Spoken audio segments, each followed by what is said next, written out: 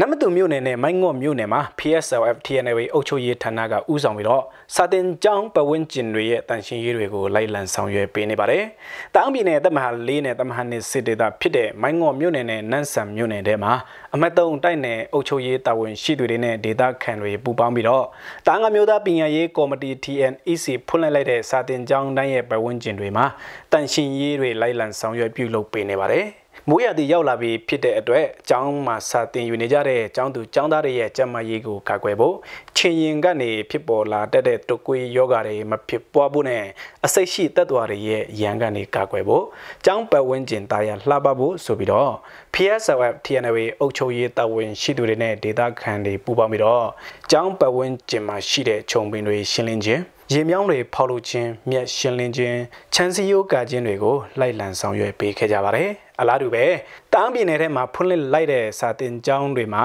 သက်ဆိုင်ရာမြို့နယ်တိုက်နယ်အလိုက်တာဝန်ယူထားကြတဲ့အုပ်ချုပ်ရေးတာဝန်ရှိသူတွေကကိုယ့်ရဲ့သက်ဆိုင်ရာမြို့နယ်တိုက်နယ်မှာရှိတဲ့စာတင်ကျောင်းတွေရဲ့ပတ်ဝန်းကျင်တန်ရှင်းရေးတွေကိုလိုက်လံဆောင်ရွက်ပေးနေတယ်လို့သိရပါတယ် ကျွန်တော်မိုင်းအင်လငန်းပါဒီသတင်းကိုတော့ပလောင်ပြည်နယ်လူမျိုးရေးတအူ PSLF TNW ရဲ့လူမျိုးနယ်မြေတနေရာကနေတင်ဆက်ခဲ့တာဖြစ်ပါတယ်